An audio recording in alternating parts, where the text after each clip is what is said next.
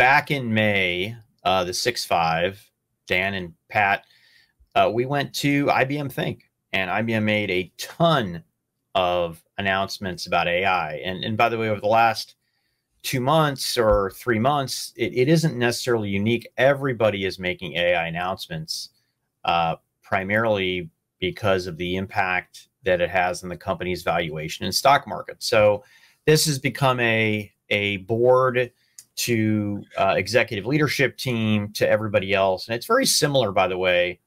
Uh, I think uh, the same froth we saw when web first came out, e-commerce came out, mobile came out. Right? What's your mobile strategy? What's your e-commerce strategy? Right? We saw a ton of companies getting disrupted uh, through e-commerce, and so the boards wanted to know what is it, and then, hey, what now? What's your generative AI strategy? So the good news for IBM is they've been working on this uh, a lot longer uh, before the, the, before the froth, and in fact, uh, they went GA uh, on Vela, which was their training uh, supercomputer cloud uh, to be able to train these big models. And um, what IBM did announce was a service called Watsonx, and there's there's three elements to it. There's the .ai, and that's to train, validate, tune, deploy models. There's the dot .data, which is essentially a data store for for AI, uh, and then governance, dot .governance, which is uh, to enable responsible, transparent, explainable data and AI workflows. Um, and to its credit, this week it went freaking GA, general availability. So I did some digging, right? I, I got with IBM. Uh, I think we had two calls, 10 emails, 15 documents. Okay, what actually went GA? And it's not because, oh, gosh, I don't trust IBM or, but Dan, pretty much everybody that we're looking at, it's not GA. And in fact, there's a very large vendor uh, doing uh, generative AI uh, as a service that can't even explain how they price, right? Uh, here. But today, for so uh, what went GA dot AI uh, and dot data. You can swipe your credit card, multiple countries, multiple languages, and uh, six models running on the IBM cloud, which by the way is full of you know 80 gig A100 GPUs in very high performance clusters. So uh, one IBM model, it's an NLP model, 150 million parameters and you can fine tune the heck out of that thing. As interesting, more interesting uh, to our audience, five Hugging Face models available GA for QA, generate, extract, summarize, classify up to 20 billion parameters. And you can do inference on all these models.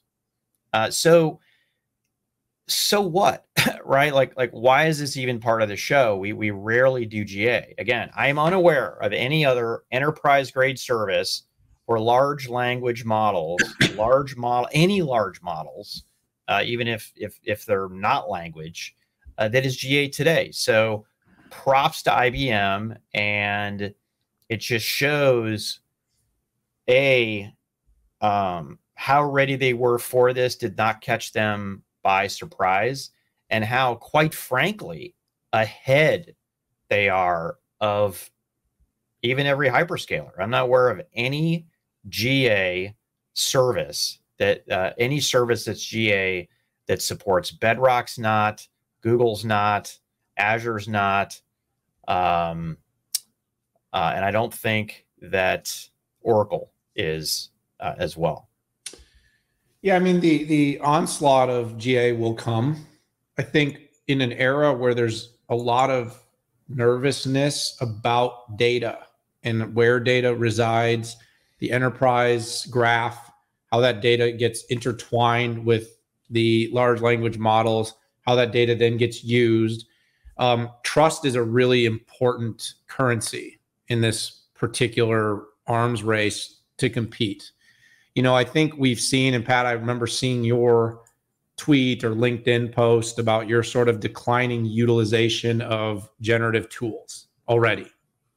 And, you know, um, I don't think you're alone. I think data is pointing to the fact that people have a little early fatigue. They're almost as bored, maybe, as they are with uh, Meta Threads after a week. Um, thought, thought, thought that one would get you. Okay. anyway, um, but it's not so much that they're bored. It's just that the use cases of trying, you know, what, what, you know, in a lot of ways, the LLM, the new chat bots are basically the next wave of search, right? It's a new way to organize and distribute. You know, what's old is new again. You know, remember Cliff Notes? Hello. welcome oh, to very much so. Welcome to what, you know, so this is kind of an instance of what's old is new again. Google originally did its thing to organize all the world's information, and now we're organizing it and giving cliff notes to people because people are, you know, you could argue people want to be more efficient or we're just so lazy that we don't actually have to click the links to figure out what information is good. I think it's hopefully about being more productive. But for companies and they're the ultimate kind of uh, consumers of technology, it's about the technology being able to make them more efficient, productive, uh, offering better user experiences, CXs, innovations. And you can't do that without your data as part of the graph. You can't do it without the enterprise's data. So just having that open internet data is not really a competitive advantage. In fact, it's already proven to be a commodity. So in order to make it a enterprise success story, you need to be able to a make the data easily digestible and ingestible B, give tools that enable enterprises to use that data but protect it from the public internet domain. C, you need to be able to govern it so that the outputs can be trusted or secure or accurate, uh, are constantly learning, training, and evolving. You know, in uh, IBM, what's really interesting is IBM has no interest, not any, not really one iota of interest in being a consumer product here. They're not building something to try to get high adoption among broad internet users, consumers, mobile apps. They're trying to basically say, look, we are 100% committed to building a sandbox, a tool set, a data lake, and a governing platform that enables companies to successfully implement enterprise AI on a on a on a business wide scale to add value for the internal and external resources of the company. So going GA was one thing, Pat, but actually building with that sort of set of guided principles makes them very interesting for this particular space. Now, I've been impressed with Vertex. I've been impressed with some of the things that OpenAI is doing. Um, I think AWS is being heavily underrated right now for what they're going to be able to do. But I do think IBM has been very declarative, clear, concise, and by the way, early because it's not just about being early about being GA. They've been very early about the proclamation of AI, hybrid cloud, and the enterprise, and their commitment to basically building tools that are able to be run in those environments successfully. And that has also been a big part of their recent um, ascent into profitability, into growth, into scale. Now, you know, is this going to be the catalyst of IBM breaking away from mid single digits and single digit growth into doubles and beyond? It could be, but it is the most com- it is the most compelling. I mean, if thing. it's not this, what is it going to be? I mean, it, it I mean, could be Red Hat, right? I mean, I like Red Hat a lot, and by the way, Red Hat's a big part of this story is the ability to do hybrid uh, enabled uh, enterprise AI. So I like it. I'm happy to see it go GA. I'm really eager to kind of start to hear some of these customer stories come to life, hearing how customers are using this to you know to speed up and amplify and successfully deploy enterprise. You don't sound very. You don't sound. It's funny. We went crazy when Microsoft brought up was first with and went GA. Like we both went crazy about them. We gave them a a ton of credit with the caveat that hey, but like is this is no. I, I see this as the same thing. I see IBM right now in the leadership role uh, for enterprise generative AI. Uh, right now it could change because they're freaking GA. That's a huge deal. A it huge is a huge deal. deal. Uh, it is a huge deal. I and obviously you can hopefully you know you can hear my you know my enthusiasm. I'm cautious because um, I do think you're going to have an onslaught of GAs in the oh, near future. And based listen, and based on the markets that uh, IBM is only targeted at at uh, I, I, think IBM is going to have success in regulated industries, large yeah. enterprise. Okay, that is a that is a a a sub variant of the pie, right?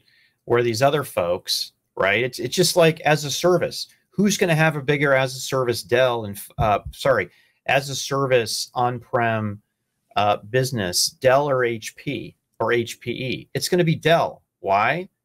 Server storage, networking, security, and PCs. It's kind of an inevitability, but they're behind.